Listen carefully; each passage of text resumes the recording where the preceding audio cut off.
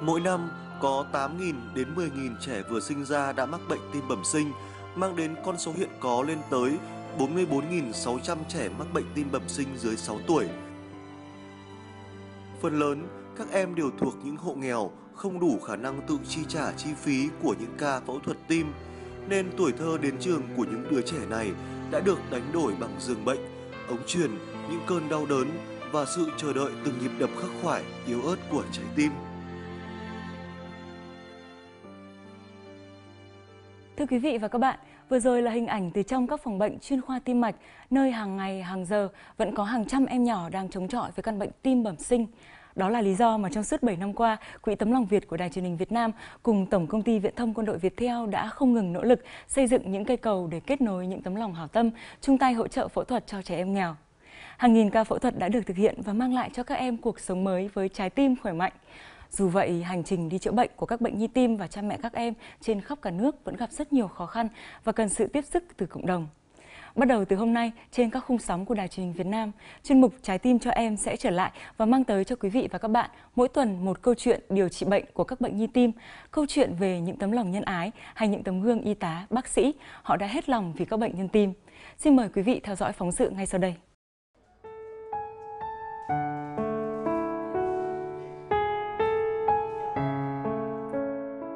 Vâng, thưa quý vị và các bạn, hầu hết thì các bệnh nhi tim bẩm sinh thì đều còn quá nhỏ để hiểu rằng tại sao mình đang ở đây.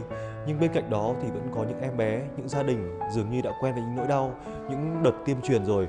Và ngay bây giờ chúng ta sẽ cùng trò chuyện với một gia đình như vậy.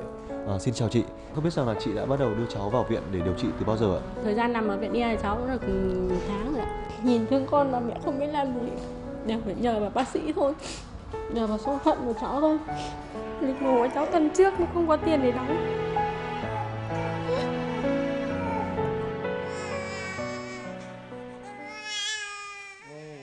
Với đứa trẻ này, có được tiếng khóc chào đời cũng là một điều kỳ diệu, quý giá.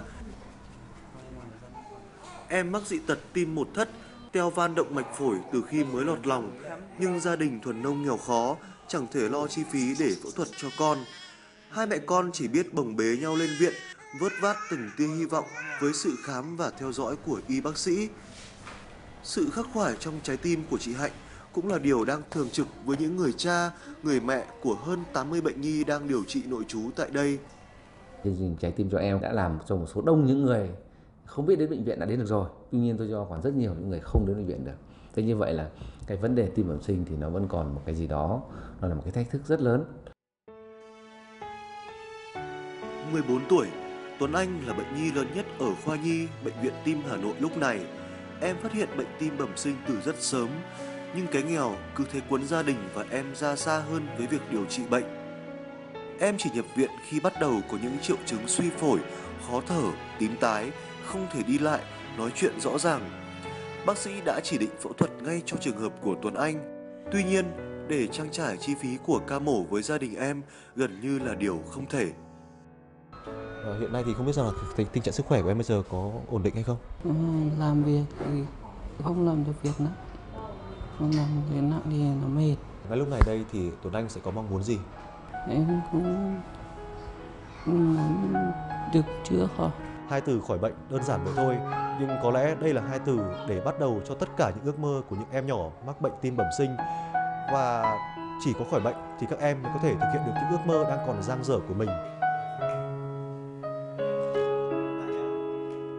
Không có giường bệnh, không còn ống truyền, các em lại chỉ là những đứa trẻ hồn nhiên. Chỉ khác, mỗi trái tim nhỏ bé này đều đang khắc khoải mong chờ một ca phẫu thuật đến từ lòng nhân ái của cộng đồng.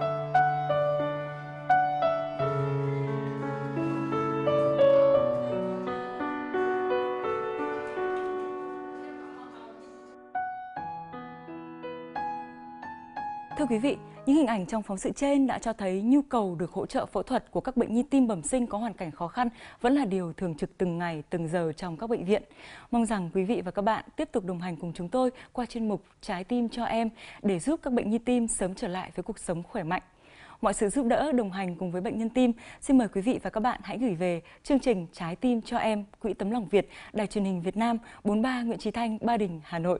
Xin cảm ơn sự quan tâm theo dõi của quý vị và các bạn. Kính chào và hẹn gặp lại.